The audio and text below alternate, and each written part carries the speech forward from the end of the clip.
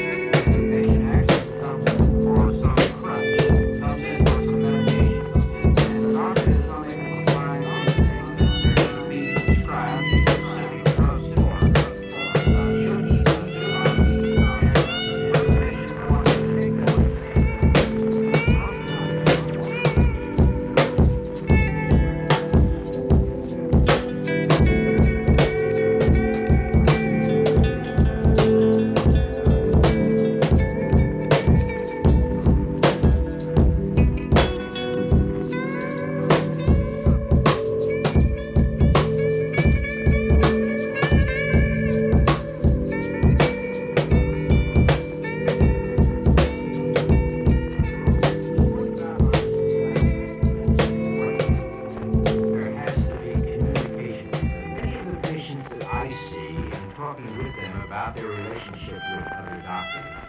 mention the fact that they are sure that their doctor is competent, but they would like very much to know what it is that he thinks about them in terms of the information that he's acquired, both that his physical examination at this juncture up to this time has not revealed anything that need give rise to anxiety or concern.